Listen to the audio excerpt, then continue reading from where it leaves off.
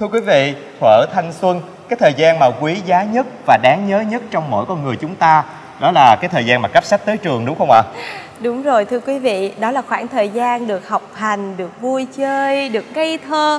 Chúng ta không phải bận toan tính những cái đua chen của người lớn, người trưởng thành. Đúng rồi đó ạ. À. Cái đó người ta gọi là một khoảng thời gian mà khi có thì ta tận hưởng.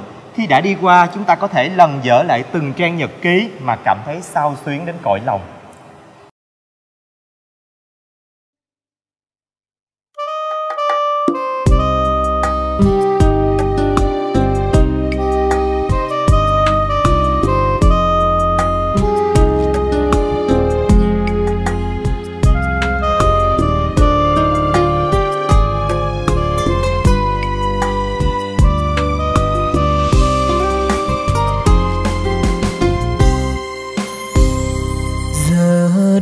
Âm thầm bên trang nhật ký, lắng suối tâm tư hoài mơ bóng ai xa ngàn.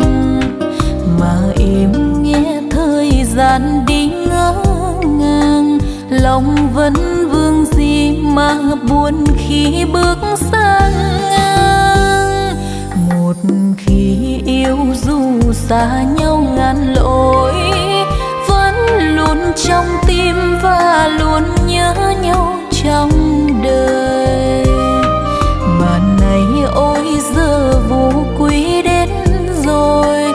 nhật ký ôm vào lòng mà tiếc thương.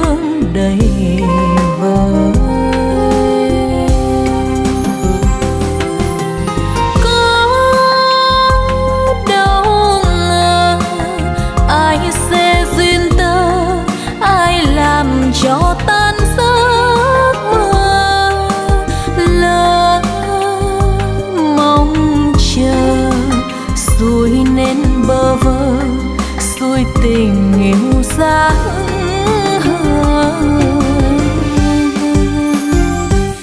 để nay duyên buồn đưa sang mùa cưới, bước lên xe hoa con ngơ ngác trong xa bời thầm buồn câu biết nhau trong cõi đời, nhật ký năm nào đành lòng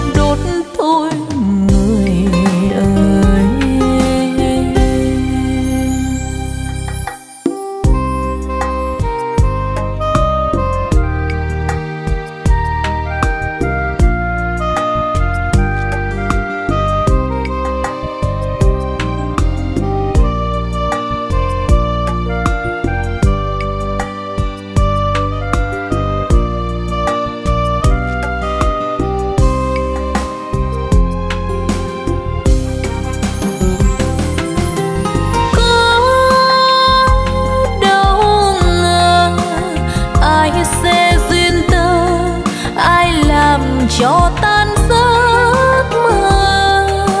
Lỡ mong chờ, rồi nên bơ vơ xuôi tình yêu ra hững hờ. Để nay duyên buồn đưa sang mùa cười bước lên xe hoa con ngơ ngác trong xa vời. Biết nhau trong cõi đời. Nhật ký năm nào đành lòng đốt tôi người ơi. Thầm buồn câu biết nhau trong cõi đời. Nhật ký năm nào đành lòng đốt tôi người